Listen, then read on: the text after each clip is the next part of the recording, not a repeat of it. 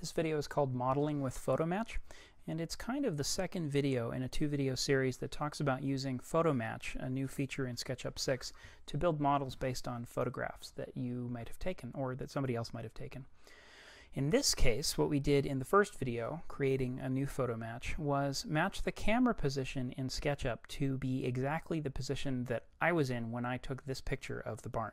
Okay, the good thing is that you don't really have to understand that concept to use PhotoMatch, but it, it kind of helps. So right now we're standing in SketchUp exactly where I was standing uh, knee deep in snow actually to, to, take this picture of this barn that we're looking at. We're going to use the picture of the barn to build a model of the barn um, in Photomatch. Okay. First rule of modeling in Photomatch, don't orbit. Watch what happens if I orbit. So I'm orbiting right now. The photo goes away. What I need to do to get it back is click on the Scene tab up here that's labeled uh, with the name of the photo that I use. So if I click on that, you'll see that the barn comes back, the photo comes back. Okay. Second rule, I'm going to use the line tool, is always start at the origin when you start modeling. Okay. So what we did is we positioned the axis origin right here on the corner of the barn. That's pretty convenient because I'm going to start modeling right from the corner of the barn. Let's go. I clicked there to start. I'm going to go up in the blue direction to right about, I don't know, there is good with me. And then I'm going to come over in the red direction. Now, it's no um, it's no uh, coincidence that this is actually red. What we did in the last video, in the last step when we were setting up the photo match, is match up the red, green, and blue axes with the actual parallel and perpendicular edges in the photo. So it's, it's, it's really no accident that this is red. I'm going to draw this edge until I come right over to there. And then I'm going to come down with the blue until I get a little inference that says I'm on the red axis again. Let's go like that. Okay, cool. So what I've done now is I've created a little rectangle in space, and that rectangle happens to correspond to this face of the barn, just like that. Watch what happens if I orbit. When I orbit, you'll see that I have a rectangle in space there standing next to Bryce, and that rectangle is the same as the front of the barn. We'll click on the Scene tab to get that back. Okay, now what I'm going to do is um, draw the rest of this, the front of the barn here. Um, but what I'm going to do is uh, follow the third rule of photo match, which is never just start drawing out here in space. So if I start drawing up here or here or here, it's not going to work. I have to start on an edge that I already have in my model. And since I only have a couple edges to choose from, I'm going to pick this top one here. And I'm just going to kind of eyeball this and say, hmm, that's pretty close. I'm going to come up here. Let's go over this way to there. And we'll come down just like that. What I can do is use the move tool to just kind of move this edge to make it a little bit more accurate. There we go. Now it lines up with that edge. And I'm going to use the line tool to determine these diagonals as well. So let's just click on here. And I'm going to kind of draw up here. And as I'm drawing this diagonal, I know that it probably wants to come about there. And again, this isn't really a science. It's just kind of trying to make things work. So let's kind of draw that. That's pretty good.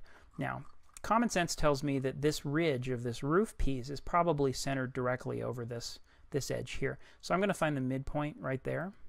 I'm going to come up from the midpoint to about, I don't know, there or wherever it looks like it belongs to there.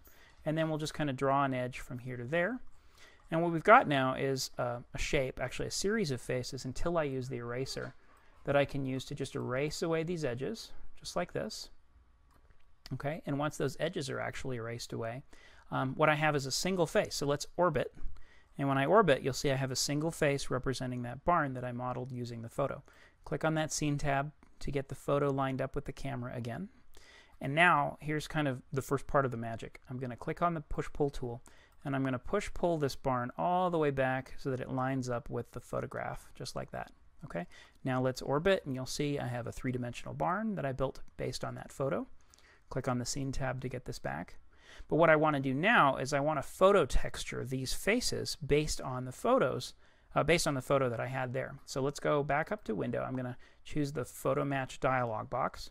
And there's this enormous button, if you notice, it says Project Textures from Photo. Watch what happens when I do this. Oops, I only had one face selected when I did it, so it actually only did it on the face that was selected. So let's make sure no faces are selected and click on that button again. It's going to say, do you want to overwrite existing materials? I had just pressed this before, so that's why it's saying that. I'm going to say yes. And when I do that, let's minimize this dialog box. Look what I have now. I have a model of a barn that's painted exactly with the photo of that barn that I used to build the model. I hope that makes sense, okay? And that's the basic premise of photo match. Let's just click back up here on that scene tab, and I could kind of go nuts and keep modeling all I want right here. So I'm going to kind of go up and um, try and build this part of this roof by just kind of drawing up like that, and I could maybe, I don't know, bring this down parallel to this edge, it's really, it kind of all depends on how good you are with SketchUp.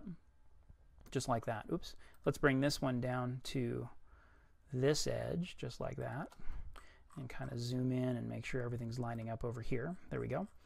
And then I could kind of, I don't know, push pull that back if I want to. Let's kind of orbit around and push pull that roof. You'll see that it's, it's not an entirely simple operation to do this. I'm just kind of figuring things out as I go along. But let's click on this photo match thing again.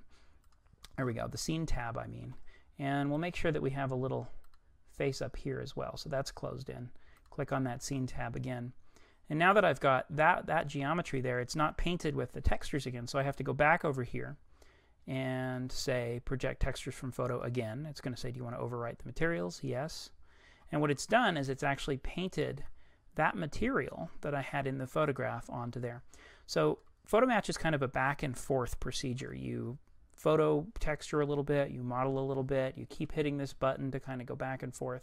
And as you do that, eventually you'll get a pretty highly articulated 3D model based on the photograph that you were making. Okay, uh, that's the end of this video, Modeling with PhotoMatch for Chapter 7 of Google SketchUp for Dummies.